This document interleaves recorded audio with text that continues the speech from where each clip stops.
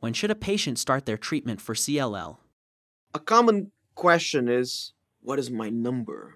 So, you know, and, and we don't treat numbers, right? So your white count may be 20,000, 30,000, 50,000, 120,000, or 300,000.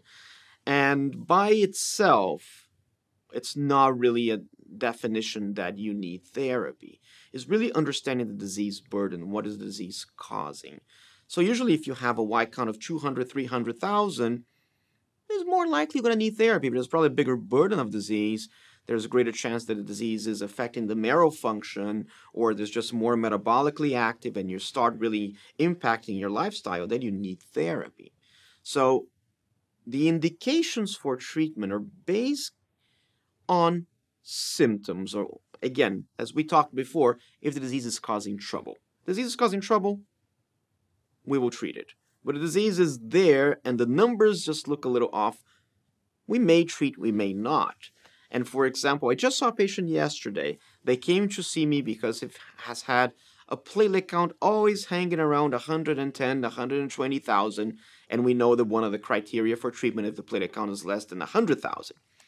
So there was one single blood drop that probably had a little viral infection happening, and his platelet count was 80,000.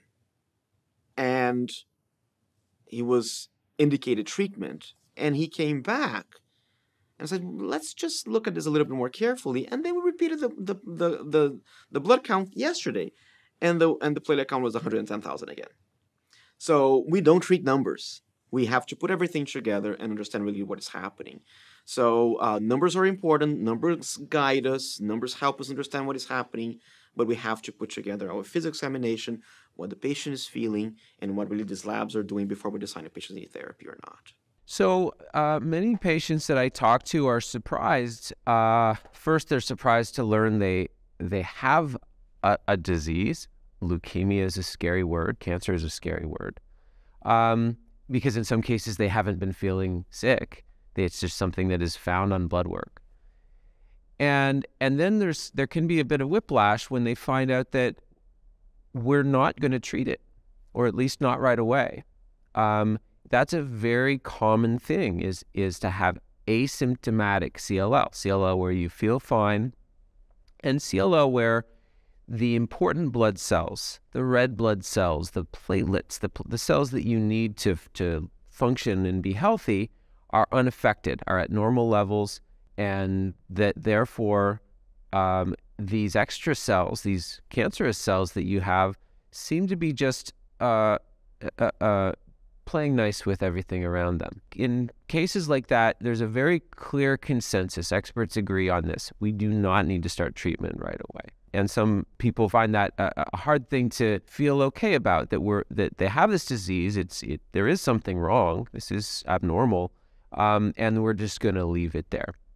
Um, but as you go along and you you know some of these patients over long periods of time, um, and you see that they feel good, they can live a normal life. They don't have to deal with any of the inconveniences or any of the side effects um, that going on treatment can bring. Um, and it's really just a better approach. Um, and the reason that makes sense is uh, this is not a disease that we can ever really get rid of.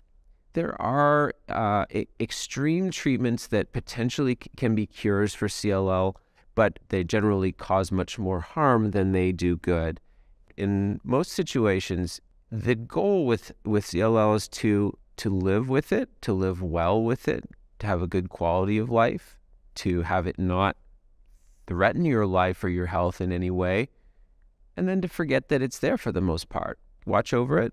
If needed, treat it to control it, but to ultimately live with it